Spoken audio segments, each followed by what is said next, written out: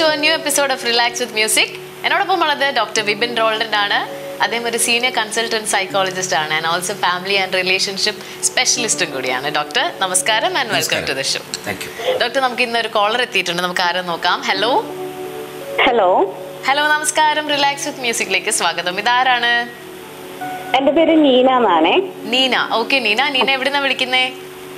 ഞാൻ എടപ്പാളിന്നാ വിളിക്കുന്നത് വിളിക്കുന്നേ ഓക്കെ നീന. നീന ഡോക്ടറോട് സംസാരിച്ചോളൂ.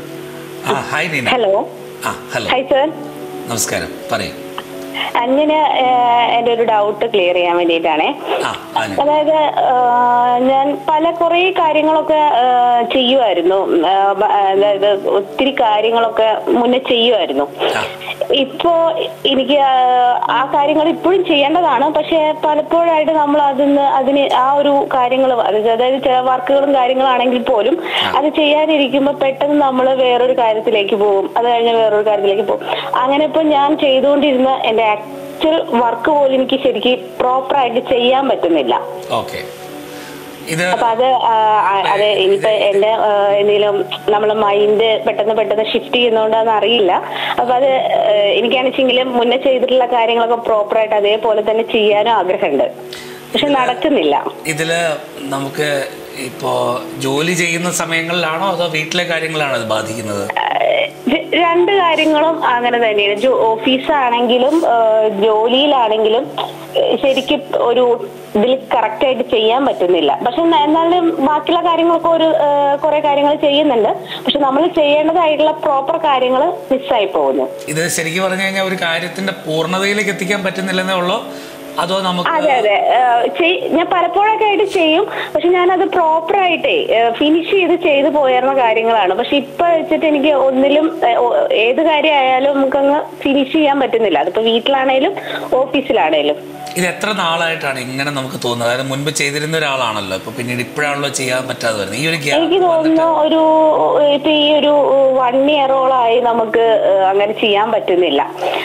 ഈ വൺ ഇയർ ഉള്ള ഈ വൺ ഇയർ ആയിട്ട് പോകുന്ന മാരീഡ് ആണോ അതോ മാരീഡാണ് മാരീഡാണ് ആണ് അപ്പോൾ ഈ വൺ ഇയർ ആയിട്ടുള്ള ഒരു കാര്യത്തിലേക്ക് വരുമ്പോൾ ഒരു വർഷം മുമ്പുള്ള നമ്മുടെ ജീവിതത്തിന്റെ ഒരു അവസ്ഥ വീടിലെ സാഹചര്യങ്ങൾ നമ്മുടെ വൈകാരികമായിട്ടുള്ള കാര്യങ്ങൾ ആരോഗ്യം ഇതിലേതെങ്കിലുമൊക്കെ ഒരു സാമ്പത്തികം ഇതിലേതെങ്കിലുമൊക്കെ കാര്യങ്ങളിൽ ഈ ഒരു വർഷത്തിന് മുമ്പുള്ള അവസ്ഥയെക്കാളും നമ്മുടെ പല പല കാര്യങ്ങളും മോശമായിട്ടുണ്ടോ എന്ന് നോക്കി ഹെൽത്ത് ഭയങ്കര വീക്കാണ് എപ്പോഴും അസുഖങ്ങളാണ്.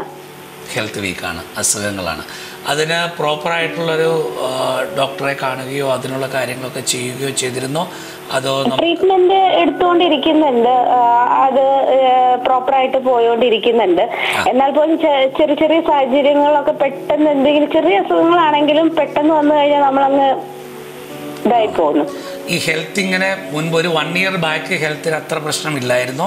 ഈ വൺ ഇയറിനകത്താണ് ഈ പ്രശ്നങ്ങൾ കൂടുതലായിട്ട് വരുന്നത് കാണുന്നത്. ഇപ്പൊ ഈ കഴിഞ്ഞ വർഷമായിട്ടാണ് കോവിഡ് അതൊക്കെ കഴിഞ്ഞ് ചിക്കൻ ബോക്സ് അങ്ങനെ എല്ലാ മാസങ്ങളും ഓരോരോ അസുഖങ്ങളായിട്ട് ഭയങ്കര ഇതായിട്ട് വന്നുകൊണ്ടിരിക്കുകയായിരുന്നു കോവിഡ് ബാധിച്ചതിന് ശേഷമാണോ നമുക്ക് ഇത്തരം അസുഖങ്ങൾ വന്നിട്ടുള്ളത്? അവിടുന്ന് ശേഷമാണ് പിന്നെ ആണാണ്. കോവിഡിന് ശേഷമാണ് ചിക്കൻ ബോക്സ് വന്നു അതുപോലെ ശ്വാസമുട്ട് വന്നു പിന്നെ ഇങ്ങോട്ട് മേൽ നീര് വരിക. അങ്ങനെ ഭയങ്കര ബുദ്ധിമുട്ടാണ്. അതായത് ശരിക്കും പറഞ്ഞു കഴിഞ്ഞാൽ നമ്മളുടെ മറ്റു പല ഘടകങ്ങളെക്കാളും ശാരീരികമായ പ്രശ്നങ്ങൾ ഒന്നിനു പുറകെ ഒന്നായി വന്നിട്ട് അത് ഓർത്ത് അതിനെ ഓർത്ത് നമ്മൾക്കൊരു മാനസികമായൊരു തളർച്ച ബാധിക്കുന്നതായിട്ട് തോന്നുന്നുണ്ടോ? നമുക്കൊന്നും ചെയ്യാൻ പറ്റുന്നില്ല. അതെ അതെ. കാരണം നമുക്ക് പലപ്പോഴും ഈ ജോലി ജോലിയുമായിട്ട് നിരന്തരമായ അസുഖങ്ങളും കാര്യങ്ങളും വരുമ്പോഴേക്കും ഇത് ഇത് വീട്ടിലൊരു പ്രശ്നമാവുന്നുണ്ടോ? ഓഫീസിലൊരു പ്രശ്നമാവുന്നുണ്ടോ?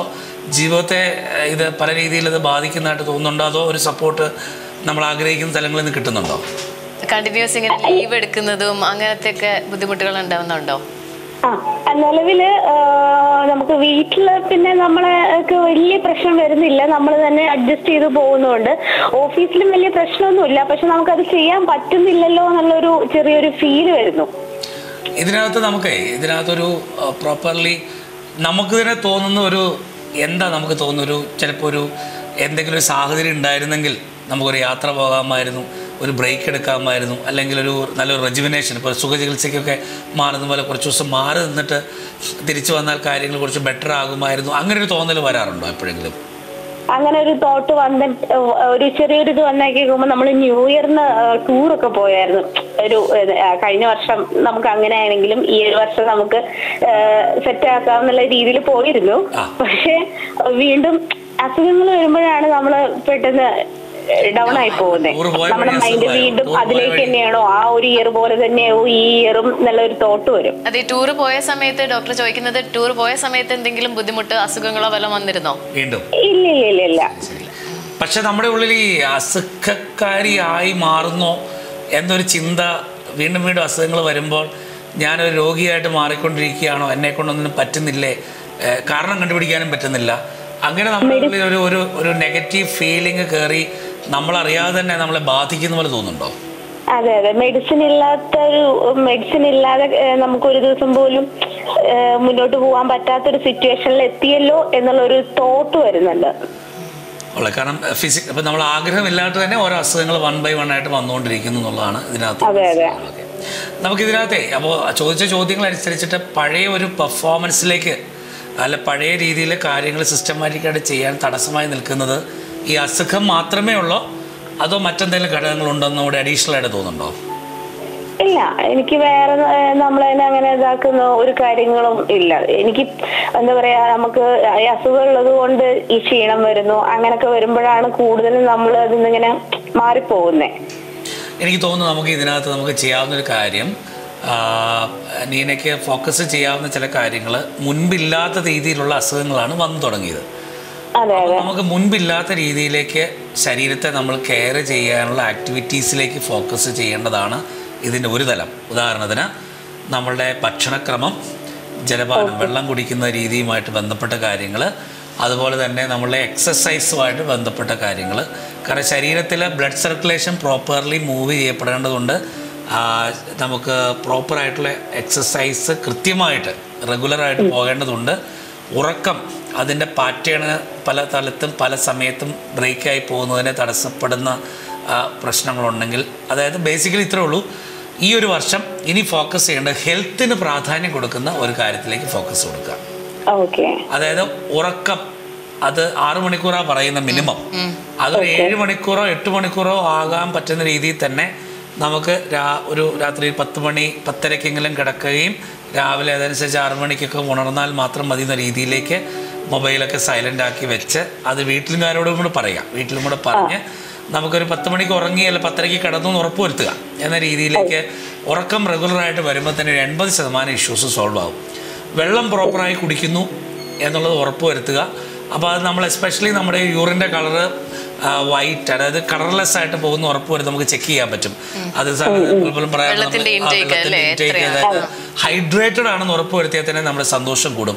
ഇപ്പോൾ നമ്മളൊരു യൂറിൻ കളർ പലപ്പോഴും ഈ പൈനാപ്പിൾ ജ്യൂസ് പോലെ ആപ്പിൾ ജ്യൂസ് പോലെ പോകുന്നുണ്ടെങ്കിൽ അത് ഒട്ടുമേ വെള്ളമില്ലെന്നുള്ളതാണ്. പൈനാപ്പിൾ ജ്യൂസ് പോലെ ആണെങ്കിലും നമുക്ക് അതിനകത്ത് വെള്ളത്തിന്റെ ഒരു അംശം കുറവാണ്. അപ്പൊ അപ്പോൾ നമുക്ക് കളർലെസ് ആയിട്ട് പോകുന്ന ലെവലിലേക്ക് ഇത് വന്നെന്ന് ഉറപ്പ് വരുത്തുക ദെൻ പ്രോപ്പറായിട്ടുള്ള ഫുഡ് ഡയറ്റ് അടക്കമുള്ള കാര്യങ്ങളും ആവശ്യമെങ്കിൽ അവർ ഒരു മെഡിസിൻ മെഡിസിന്റെ കൺസൾട്ടന്റിന്റെ സപ്പോർട്ടോട് തന്നെ മൂവ് ചെയ്തോടൊപ്പം തന്നെ മനസ്സിൽ നമുക്ക് ഹെൽത്തിനെ റീഗെയിൻ ചെയ്യാൻ വേണ്ട. നല്ല പ്രഭാഷണങ്ങൾ കേൾക്കുക അല്ല അതിന്റെതായ അഫർമേഷൻസ് ചെയ്യുക നല്ല വായനകൾ ഉണ്ടാവുക. അനാവശ്യമായിട്ട് നമ്മുടെ മനസ്സിനെ മതിക്കുന്ന ചില ബന്ധങ്ങൾ അല്ലെ ചില സൗഹൃദങ്ങൾ അത് അവർ നെഗറ്റീവ് ഇമ്പാക്റ്റ് ഉണ്ടാക്കുന്ന വ്യക്തികളിൽ നിന്ന് ഫുള്ളി ഡിസോസിയേറ്റ് ചെയ്തിട്ട് നമ്മളെ നല്ല ചിന്തകൾ സദ് ചിന്തകൾ തരാൻ പറ്റുന്ന രീതിയിലുള്ള കാര്യങ്ങൾ ചെയ്യുക. ആവശ്യമെങ്കിൽ ഒരു നമുക്കൊരു ഒരു ബ്രേക്ക് എടുക്കുക. ചെറിയൊരു വൺ വീക്കിന്റെ ഒക്കെ ത്രീ ഡേയ്സിന്റെ ഒക്കെ. ആ ബ്രേക്കിൽ നമ്മളെ വീട്ടിലെ പ്രശ്നങ്ങളും മറ്റു കാര്യങ്ങളും ബാധിക്കരുത്. പക്ഷേ ഒരു റെജിമിനേഷൻ ജേർണി പോലെ ഒരു ബ്രേക്കൊക്കെ എടുത്ത് അങ്ങനെ നമുക്ക് കൃത്യമായ രീതിയിലേക്ക് ലൈഫിനെ ഒന്ന് തിരിച്ചു കൊണ്ടുവരാനായിട്ട് ശ്രമിച്ചു കഴിഞ്ഞാൽ പഴയതിനേക്കാൾ ഉഷാറായിട്ട് തന്നെ ജീവിതത്തിലേക്ക് തിരിച്ചു വരാനായിട്ട് പറ്റും. കാരണം വീട്ടിലെ പ്രശ്നങ്ങളും മറ്റുള്ളവരുടെ പ്രശ്നങ്ങളും ചുറ്റുമുള്ള കാര്യങ്ങളൊക്കെ പേഴ്സണലൈസ് ചെയ്യാൻ സാധ്യതയുള്ളപ്പോൾ ഇത് നെഗറ്റീവ് ഡിപ്പോസിറ്റായിട്ട് ശരീരത്തിലും മനസ്സിലും ബാധിക്കുന്നത് കുറേ ആൾക്കാരെ അഫക്റ്റ് ചെയ്യാറുള്ളൊരു കാര്യമാണ്. അപ്പോൾ നമുക്കൊരു റെജുബിനേഷനാണ് വേണ്ടത്. ഒരു സൈക്കോ സ്പിരിച്വൽ ഒരു ഹെൽത്ത് ലെവൽ റെജുബിനേഷന് വേണ്ടിയുള്ളൊരു ഓപ്പർച്യൂണിറ്റിയാണ് നമ്മൾ എടുത്തില്ലെങ്കിൽ മറ്റു പല ആളുകൾക്കും അത് പ്രയോജനപ്പെട്ടേക്കാം. നമ്മളുടെ പല വീട്ടിലെ കാര്യങ്ങളും മറ്റു കാര്യങ്ങളൊക്കെ ഉണ്ട്. പക്ഷേ പേഴ്സണലി നമ്മൾ ഓരോ ഘട്ടങ്ങൾ ഡൗൺ ആയി പോകാനുള്ള സാധ്യതയുണ്ട്. അതുകൊണ്ട് നമുക്ക് വേണ്ടി തന്നെ കമ്പൽസറി ആയിട്ട് ഇത്തരത്തിലുള്ള പ്രാക്ടീസുകൾ എക്സസൈസ് ചെയ്തെന്ന് ഉറപ്പുവരുത്തുന്നതും വെള്ളം കുടിച്ചെന്നും ഭക്ഷണം പ്രോപ്പറായി കഴിച്ചു എന്നുള്ളതും അവർ പ്രോപ്പറായി ഉറങ്ങി എന്നുള്ളതും ഉറപ്പ് വരുത്തുന്ന തന്നെ നമ്മുടെ ഒരു നിർബന്ധമുള്ള ഡയറ്റായിട്ട് കണ്ടുകൊണ്ട് മുമ്പോട്ട് പോയാൽ ഉടനെ തന്നെ നമുക്ക് പഴയതിനേക്കാൾ ഉജ്ജ്വലമായ ശോഭയിൽ തിരിച്ചു വരാനായിട്ട് സാധിക്കും. കേട്ടോ? ഹലോ ഓക്കെ നമ്മുടെ പേര് ഞാൻ മറന്നുപോയി. പേര് ഒന്ന് നീന. നീന. നീന അപ്പം ഇപ്പൊ നമുക്കിപ്പം ഡോക്ടർ കുറെ കാര്യങ്ങൾ പറഞ്ഞു തന്നു. ഫൈനലി നമുക്ക് പറയാനുള്ള കാര്യം ഇടയ്ക്ക് ഒരു ബ്രേക്ക് എടുക്കുന്നത് എന്തിനും ഒരു നല്ലതാണ്. നമ്മൾ പൂർവാധികം ശക്തിയോടുകൂടി തിരിച്ചു വരാൻ വേണ്ടിയിട്ടാണ് നമ്മൾ ആ ബ്രേക്ക് എടുക്കുന്നത് എന്നുള്ളത് മനസ്സിലാക്കിയാൽ മതി. ആൻഡ് എല്ലാ കാര്യങ്ങളും നമുക്ക് എല്ലാ പ്രായത്തിലും നമ്മൾ നമ്മുടെ പ്രായം കൂടി വരികയാണ്. അതേപോലെ നമ്മളുടെ എനർജി കൂടിയും കുറഞ്ഞും ഒക്കെ വരും ഓരോ ദിവസവും. അപ്പോൾ അതുകൊണ്ട് ചില ദിവസങ്ങളിൽ ചില കാര്യങ്ങൾ നമുക്ക് ടാസ്ക് കംപ്ലീറ്റ് ചെയ്യാൻ പറ്റിയില്ല എന്ന് പറഞ്ഞ് നമ്മൾ വിഷമിക്കേണ്ട കാര്യമില്ല. ദ നെക്സ്റ്റ് ഡേ നമുക്ക് എടുക്കാം. അല്ലെങ്കിൽ അതിന്റെ അടുത്ത ദിവസം നമുക്കത് ചെയ്യാം. Only thing is take a break കുറച്ചൊന്ന് സാർ പറഞ്ഞ പോലെ ഒന്ന് റെജുവിനേറ്റഡ് ആവുക ഒന്ന് റിഫ്രഷ്ഡ് ആവുക. എന്നിട്ട് നമുക്ക് ബാക്ക് ടു നമ്മുടെ നോർമൽ റുട്ടീനിലേക്ക് നമുക്ക് വരാം. ഓക്കെ അപ്പൊ ഹാപ്പി ആയിട്ട് നീന നീനയുടെ എല്ലാ പ്രശ്നങ്ങളൊക്കെ സോൾവ് ചെയ്ത് നല്ല അടിപൊളിയായിട്ടിരിക്കട്ടെ എന്ന് നമ്മൾ ആശംസിക്കുന്നു. ആൻഡ് എഫേർട്ട് എടുത്ത് തുടങ്ങിക്കോളൂ അതിനു വേണ്ടി ഓക്കെ ഇപ്പൊ ഡോക്ടർ നമ്മുടെ നെയ് പേര് ഞാൻ എപ്പോഴും പറഞ്ഞത് ആ. നെയ്ന നെയ്ന പറഞ്ഞതുപോലെ കുറച്ച് ഹെൽത്ത് ഇഷ്യൂസ് കാരണം ഉള്ള മൈൻഡിനായിട്ടുള്ള കുറച്ച് പ്രോബ്ലംസ് ആണ് തോന്നുന്നു ആസ് എ പ്രേക്ഷക എനിക്ക് മനസ്സിലായത് ഇത് ബേസിക്കലി നമുക്ക് ഈ പോസ്റ്റ് കോവിഡിൽ പറയാൻ പറ്റാത്ത തരത്തിലുള്ള ഒട്ടനവധി ശാരീരിക മാനസിക പ്രശ്നങ്ങൾ നിലവിലുണ്ട്. പോസ്റ്റ് കോവിഡ് വന്നപ്പോൾ ഈ അകത്തോട്ട് കയറിപ്പോയ വൈറസ്. പിന്നെ ഇപ്പൊ നമുക്ക് ഈ വാക്സിനെ സംബന്ധിച്ചൊക്കെ പലപ്പോഴും പല ഈ അകത്തോട്ട് എന്തൊക്കെയാണ് പോയതെന്നും ശരീരത്തെ എങ്ങനെയൊക്കെ ബാധിക്കുന്നത്? ഇപ്പൊ ഡോക്ടേഴ്സ് മരിക്കുന്നു നഴ്സസ് മരിക്കുന്നു ആരെ പേടിപ്പിക്കാനല്ല കേട്ടോ. അപ്പൊ അതുകൊണ്ട് തന്നെ ചില ആൾക്കാർ ഇന്നങ്ങ് ശരിയാക്കിയേക്കാൻ വിചാരിച്ചിട്ട് ഓടിപ്പോയിട്ട് എക്സസൈസ് ചെയ്ത് കുഴഞ്ഞു വീഴുന്നു. അപ്പോൾ എല്ലാത്തിനും ഒരു ലിമിറ്റ് ലിമിറ്റ് ചെയ്ത് വളരെ സെറ്റ് ജെന്റിലായിട്ട് നമുക്ക് ചെയ്തു പോകേണ്ട ചില കാര്യങ്ങൾ ഇവർക്കിത് പോസ്റ്റ് കോവിഡിനെ തുടർന്ന് പ്രോപ്പറായ റെസ്റ്റും കാര്യങ്ങളൊന്നും കിട്ടിയിട്ടുണ്ടാവില്ല. ചിലപ്പോൾ അത് പല ആൾക്കാർക്കും കോവിഡ് അല്ല പ്രശ്നം. പോസ്റ്റ് കോവിഡ് സിംറ്റംസ് ആണ്. ഇപ്പോൾ നമ്മുടെ വീട്ടിലൊക്കെ അത് സംഭവിച്ചിട്ടുണ്ട്. ഹോസ്പിറ്റലൈസ് ചെയ്തൊക്കെ. അപ്പോൾ ഇതിനകത്ത് എന്തെങ്കിലുമൊക്കെ ചില കാര്യങ്ങൾ പ്രോപ്പർലി സെറ്റിൽ അല്ലെങ്കിൽ തുടർച്ച തുടർച്ചയായിട്ട് മറ്റു പല അസുഖങ്ങളും വരുമ്പോഴും അവർക്ക് പ്രോപ്പറായിട്ടുള്ള ചില റെസ്റ്റ് കിട്ടാതെ പോവുകയോ ആ മെഡിക്കേഷൻ പ്രോപ്പർ അല്ലാതെ വരികയോ ചെയ്താൽ ഈ ബയോജനിക് ആയിട്ടുള്ള പ്രശ്നങ്ങൾ മൂലം സൈക്കോജനിക് ആയിട്ട് ബാധിക്കാം. എന്ന് വെച്ചാൽ ബയോളജിക്കലായിട്ട് ഹെൽത്തിനെ ബാധിച്ചിട്ടുള്ള പല പ്രശ്നങ്ങളും മനസ്സിനെ ഡൗൺ ആക്കാം.